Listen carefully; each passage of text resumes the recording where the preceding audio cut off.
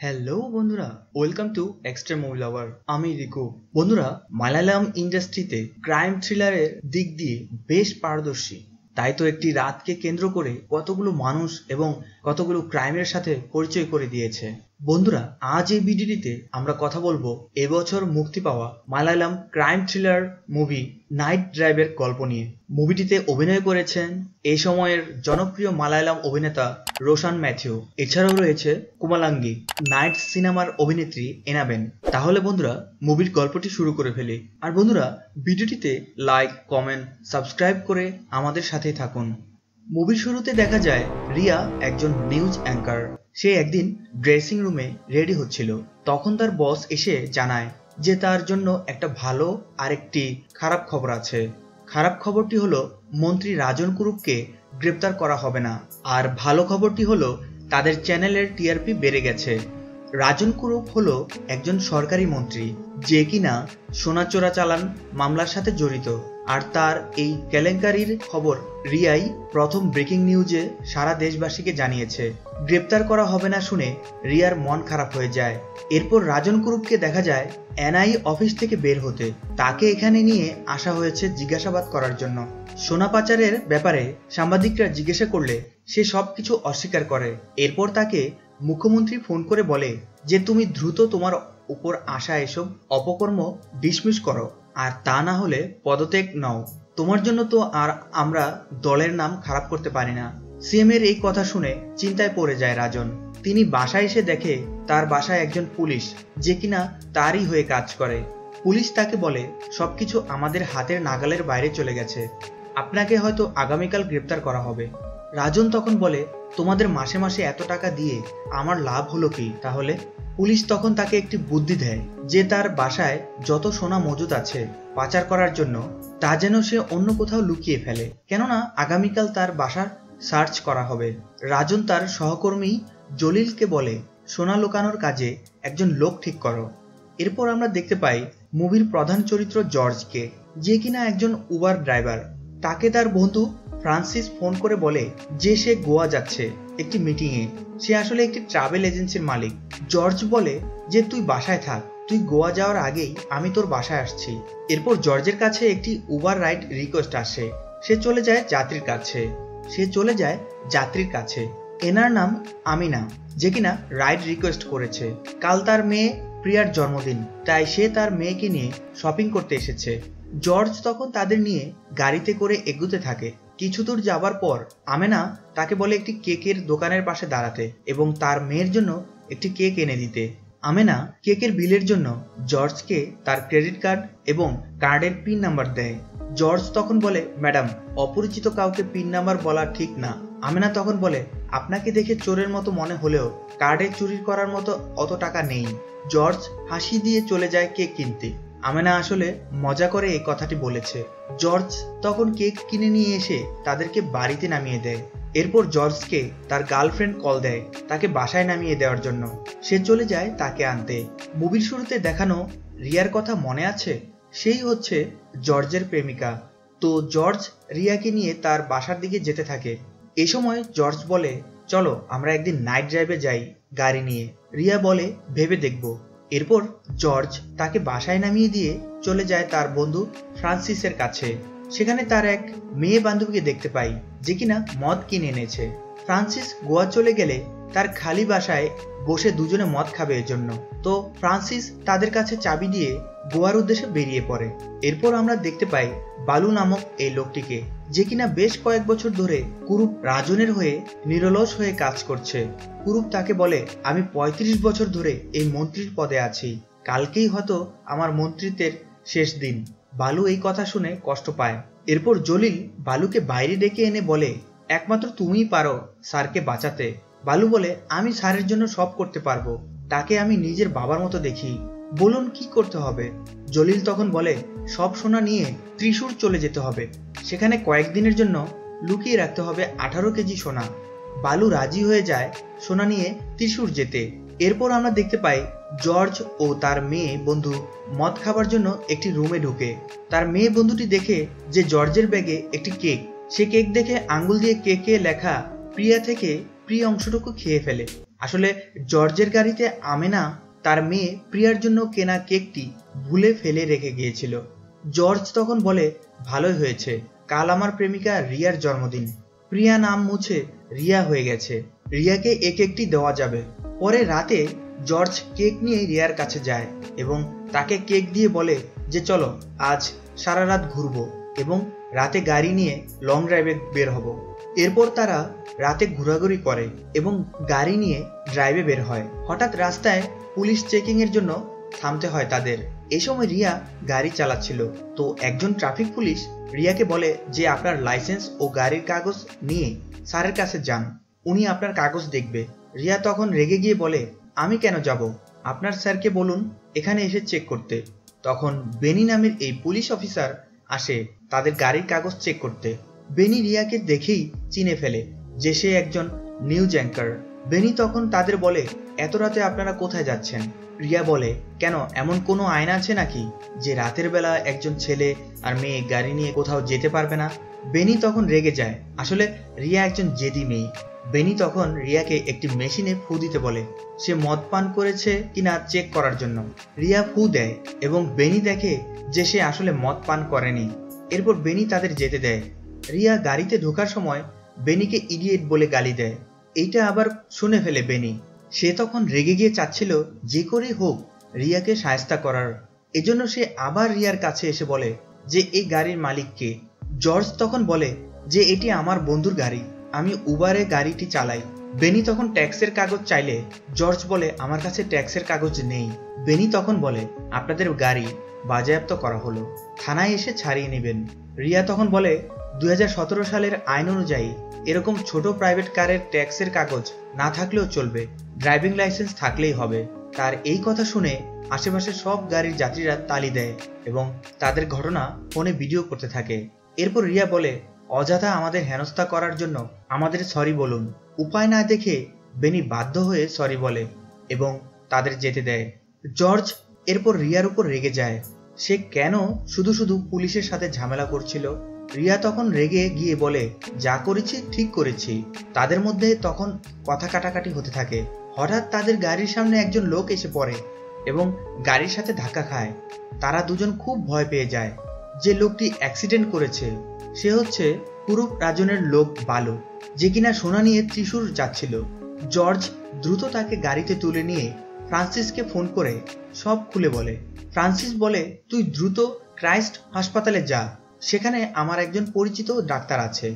আমি তাকে ফোন করে জানিয়ে রাখছি। তারা তখন হাসপাতালে যায় এবং ডাক্তার রোগীকে নিয়ে অপারেশন থিয়েটারে যায় এবং সে বলে যে, ফর্মালিটি পালনের জন্য পুলিশকে ফোন করে রেখেছি। জর্জ আর রিয়া একটি বেঞ্চে বসে টেনশন করছিল। এই সময় সেখানে পুলিশ আসে।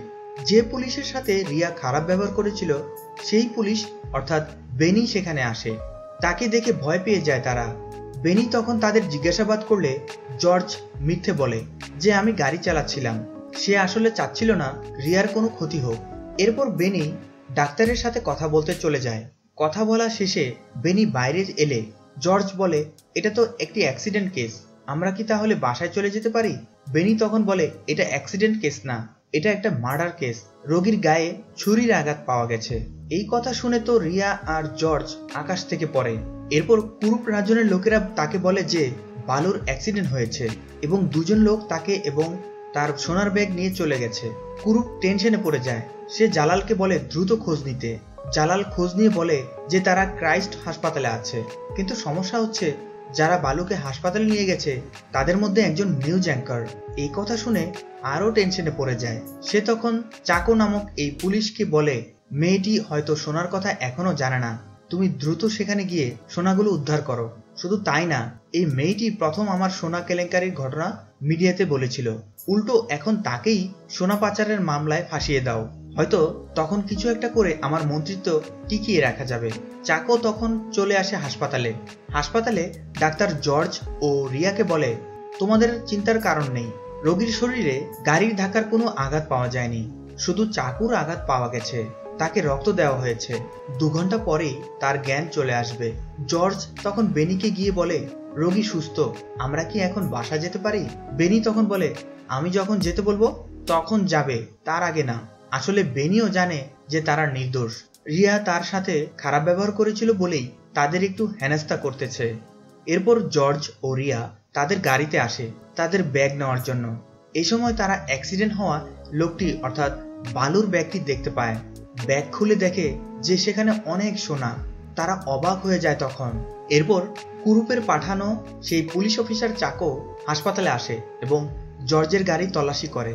সোনার ব্যাগ নেওয়ার জন্য। কিন্তু সে কোনো ব্যাগ পায় না। আসলে জর্জ চালাকি করে ব্যাগটি তখন গাড়ির নিচে লুকিয়ে রেখেছিল। চাকো তখন একজন পুলিশকে বলে তাদের গাড়িটি থানায় নিয়ে যেতে। একজন পুলিশ তখন তাদের গাড়িটি নিয়ে যায় আর মাটিতে তখন পড়ে থাকে সোনার ব্যাগটি। পুলিশ সেটি দেখার আগেই সেখানে এসে পড়ে জর্জের বন্ধু ফ্রান্সিস। ব্যাগের উপরে সে গাড়িটি রাখে বিদায়। পুলিশ ব্যাগটি দেখতে পায় না। চাকো তখন কুরুপ রাজনকে ফোন করে বলে যে গাড়িতে কোনো সোনা পাওয়া যায়নি। ফ্রান্সিস, রিয়া, জর্জ ও তার মেয়ে বন্ধুটি তখন গাড়িটি নিয়ে যায় পার্ক করতে। সেখানে জর্জ তাদেরকে সোনার ব্যাগটির ব্যাপারে বললে, এটা পুলিশকে জানানোর দরকার নেই। আমরা নিজেরা নিজেরা ভাগ করে নেব। এ সময় ব্যাগে থাকা ফোনে একটি কল আসে। কল করেছে বালুর ওয়াইফ। তার ওয়াইফের ছবি দেখেই জর্জ তাকে চিনে ফেলে। সে হচ্ছে আমিনা। যাকে সে রাইডে রাতে বাসায় নামিয়ে দিয়েছিল। সে তখন চলে যায় আমিনার কাছে এবং তাকে নিয়ে হাসপাতালে আসে। হাসপাতালে আসার পর বেনি তাকে জিজ্ঞেস করে, তুমি তো রোগীকে চিনো না? তাহলে তার ওয়াইফকে কীভাবে চিনলে? জর্জ বলে, রোগীর ফোন আমার কাছে ছিল। আপনাকে বলতে ভুলে গিয়েছিলাম। ফোনে ওয়াইফের ছবি দেখে চিনেছি। বেনি তখন বলে, আমিনাকে উবারে রাইড দিয়েছ, তার হাজবেন্ড বালুকে হাসপাতালে নিয়ে এসেছ। এসব কি কাকতালীয় নাকি? কিছু লুকাচ্ছ। জর্জ বলে, আমি এসবের কিছুই জানি না। বেনি হাসপাতালের বাইরে এসে সিগারেট খাচ্ছিল। হঠাৎ সে সিসি ক্যামেরা দেখতে পায়। সে দ্রুত কন্ট্রোল রুমে গিয়ে সিসিটিভি ফুটেজ চেক করে। সে দেখে যে জর্জ গাড়ি থেকে একটি ব্যাগ লুকিয়ে তার গাড়ির নিচে রেখেছে। সে তখন জর্জের কাছে এসে বলে, সেই ব্যাগটি কোথায় দেখাও? জর্জ ব্যাগটি দেখালে সেই ব্যাগে শুধু জামা কাপড় দেখতে পায়। বেনি তখন জিজ্ঞেস করে সিসিটিভি ফুটেজে দেখেছি ব্যাগটি অনেক ভারী ছিল। এই জামা কাপড়ে তো এত ভারী হবার কথা না। তোমরা নিশ্চয়ই কিছু লুকাচ্ছ। এই বলে সে সবাইকে থানায় ধরে নিয়ে আসে। থানায় আসার পর ডাক্তার বেনিকে ফোন করে বলে যে রোগীর জ্ঞান ফিরেছে। বেনি তখন দ্রুত হাসপাতালে চলে যায় বালুর কাছে। বালু তখন আসল ঘটনা খুলে বলে বেনিকে। বেনি ফোনে সব ভিডিও করে রাখে। বেনি বলে যে সে কুরুপ রাজনের কথা মতো সোনা নিয়ে ত্রিশূর যাচ্ছিল। হঠাৎ তাকে একটি লোক ফোন করে বলে যে কুরুপ আসলে তাকে ফাঁসাতে চাচ্ছে। তাকে পুলিশের কাছে ধরিয়ে দিয়ে নিজে মুক্তি পাওয়ার প্ল্যান করছে। বালু এই কথা শুনে থমকে যায়, যার জন্য ছোটবেলা থেকে কাজ করছে সেই কিনা তাকে ফাঁসাতে চাচ্ছে? তখন সে সোনা নিয়ে পালিয়ে যাওয়ার প্ল্যান করে, কিন্তু পালানোর সময় কুরুপের লোকেরা তাকে ধরে ফেলে, ছুরি দিয়ে আঘাত করতে থাকে। পালাতে পালাতে সে তখন জর্জের গাড়ির সামনে এসে পড়ে। এই হচ্ছে আসল ঘটনা। এরপর চাকো কুরুপের কাছে গিয়ে বলে যে গাড়িতে কোনো সোনা পাওয়া যায়নি। কুরুপ তখন বলে যে, তাহলে আরও একটি প্ল্যান করা যাক। সে তখন চাকোকে দুটি সোনার টুকরা দিয়ে বলে যে, এই সোনা তাদের ব্যাগে রেখে তাদেরকে ফাঁসিয়ে গ্রেপ্তার করে ফেলো। চাকো তাই করে। বালুর জমানবন্দি নিয়ে বেনি থানায় এসে দেখে যে, চাকো তাদের ব্যাগে সোনা পেয়েছে। বেনি বলে যে, এই ব্যাগ আমি আগে চেক করেছি, তখন কোনো সোনা ছিল না। চাকো বলে এখন তো সোনা আছে, আমি সাক্ষী। বেনি আসলে চাচ্ছিল জর্জ ও রিয়াকে ছেড়ে দিতে। তাই সে চাকোকে বলে যে, এরা তো অপরাধী না। চাকো তখন বলে এই জর্জ একজন খুনি। ছোটবেলায় সে তার শিক্ষককে বিনা কারণে খুন করে সাত বছর জেল খেটেছে। এই বলে চাকো তাদের তিনজনকে গ্রেপ্তার করতে বলে এবং বেনিকে বলে যে, সব ফর্ম ফিল করতে। কুরুপ তখন চাকোকে ফোন করে আপডেট জানতে চায়। চাকো বলে, এখানে সব ঠিক আছে। কুরুপ তখন বলে, তুমি আর দুই ঘণ্টা ওদেরকে আটকে রাখো। চাকো বলে, বেনি খুব একটা সুবিধার লোক না। সে হয়তো বুঝে গেছে, আমরা জর্জকে ফাঁসাতে চাচ্ছি। কুরুপ তখন বলে, ঠিক আছে, আমি পুলিশ কমিশনারকে ফোন করে জানিয়ে রাখছি। পুলিশ কমিশনার তখন বেনিকে ফোন করে বলে, যে সোনা পাচারের জন্য যাদের ধরে নিয়ে এসেছ, তাদের জমানবন্দি নিয়ে আমার বাসায় আসো এবং এই কেস নিয়ে তোমাকে আর মাথা ঘামাতে হবে না। এরপর বেনি, জর্জ আর রিয়া মিলে একটি প্ল্যান করে। প্রথম দিকে বেনিকে খারাপ পুলিশ মনে হলেও সে একজন সৎ পুলিশ। প্ল্যান অনুযায়ী জর্জ আর রিয়া চাকোকে বলে যে, আমরা এতক্ষণ মিথ্যা বলেছি। আসলে আমরা কুরুপ স্যারের লোক। আমরা তার হয়ে সোনা পাচার করি। বেনি তখন তাদের এই স্বীকারোক্তি লিখে ফেলে।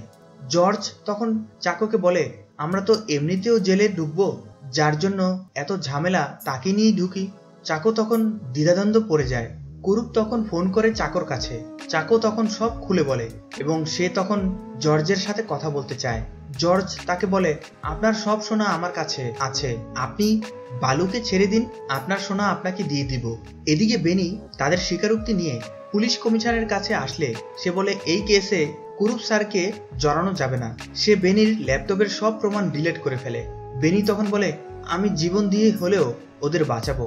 পুলিশ কমিশনার বলে, কুরুপ হচ্ছে হাই ক্লাস লোক, তার সাথে লাগতে যেও না। বেনি তার কথায় পাতা দেয় না। সে তার সততা থেকেই তাদেরকে বাঁচাতে চাচ্ছিল। এদিকে কুরুপ চাচ্ছিল বালুকে মেরে ফেলতে। তাই সে বালুকে অন্য হাসপাতালে ট্রান্সফার করাতে চাচ্ছিল। পুলিশ কমিশনার হাসপাতালে আসলে দেখে যে বালু সেখান থেকে পালিয়ে গেছে। জর্জ তাকে নিয়ে পালিয়ে গেছে। এরপর কুরুপ জর্জকে ফোন করে বলে যে আমার লোক তোমার জন্য অপেক্ষা করছে। তাদের কাছে সোনা আর বালুকে তুলে দাও। না হলে তোমার রিয়াকে ধরে এনেছি, তাকে মেরে ফেলব। জর্জ তখন বুদ্ধি করে আমিনার ফোন থেকে লাইভ লোকেশন অন করে বালুকে আর সোনার ব্যাগ কুরুপের লোকের হাতে তুলে দেয়। আর তখনই সেখানে বেনি আসে পুলিশের গাড়ি নিয়ে। তাই তারা ব্যাগ চেক না করে চলে যায়। বেনি তখন জর্জকে বলে, তুমি ওদের কাছে বালুকে তুলে দিলে কেন? জর্জ তখন বলে তাদের লাইভ লোকেশন আমার কাছে আসছে। চলুন তাদের ধরে ফেলব এখন। কুরুপের লোকেরা ব্যাগ নিয়ে তার কাছে গেলে দেখে যে ব্যাগে সোনা নেই। আর তখনই জর্জ আর বেনি সেখানে আসে। রিয়া তখন বলে, ছোটবেলায় জর্জ কেন স্কুল টিচারকে মেরেছে জানতে চান? কারণ সেই টিচার আমার সম্মানহানির চেষ্টা করেছিল। তাই তাকে মেরে ফেলেছে। পুলিশকে এই কথা বলেনি? কারণ আমার নাম যাতে জনসম্মুখে না আসে। আর তাকেই ফোন করে বলেছেন যে আমাকে মেরে ফেলবেন। তাহলে ভাবুন, আপনার অবস্থা কি হতে পারে? এরপর কুরুপের লোকেরা জর্জের উপর হামলা করে এবং শুরু হয় মারামারি। জর্জকে বাঁচাতে বেনিও সেই মারামারিতে যোগ দেয়। এরপর সবাইকে মেরে জর্জ বলে, আপনাকে কথা দিয়েছিলাম। কিছু সোনা আপনার বাসায় রেখে এসেছি আর কিছু সোনা বেনি স্যারকে দিয়ে পুলিশ কমিশনারের বাসায় দিয়ে এসেছি। আপনারা দুজনেই এখন শেষ। রিয়া ফোন করে মিডিয়াকে জানিয়ে রেখেছিল, মিডিয়ার লোকেরা চলে আসে সেখানে। ধরা পড়ে যায় কুরুপ, আর এনআইএ এর লোকেরা কুরুপ এবং পুলিশ কমিশনারের বাসায় সোনা উদ্ধার করে তাদেরকে গ্রেপ্তার করে ফেলে। এরপর রিয়া তাদের গ্রেপ্তারের ঘটনা নিউজে বলে। তার বস পরে তাকে জিজ্ঞেস করে, তুমি এত গোপন ঘটনা কীভাবে জানতে পারো সব সময়? রিয়া জর্জকে দেখিয়ে বলে, আমি একজন অপরাধীর সাথে প্রেম করি, তাই। আর এভাবেই শেষ হয় মুভির গল্পটি। বন্ধুরা, এমনই একটি রাতে আমাদের আশেপাশে কিছু না কিছু ঘটনা ঘটেই যাচ্ছে। এমনই একটি রাতের ঘটনার পরিস্থিতিতে যদি আপনারা পড়ে যান, তাহলে আপনারা কি করবেন? অবশ্যই কমেন্ট করে জানাবেন। সো বন্ধুরা, আশা করছি আমার ভিডিওটি দেখে অবশ্যই উপভোগ করেছেন। তাহলে অবশ্যই আমার চ্যানেলটি লাইক কমেন্ট সাবস্ক্রাইব করুন এবং শেয়ার করুন। আর আমাদের সাথে থাকুন। আর বেল বাটনটি ক্লিক করতে ভুলবেন না। বন্ধুরা, আজ এই পর্যন্তই। পরে আবার কথা হবে নতুন ভিডিও নিয়ে। আশা করছি সবাই ভালো থাকবেন সুস্থ থাকবেন। ধন্যবাদ সবাইকে।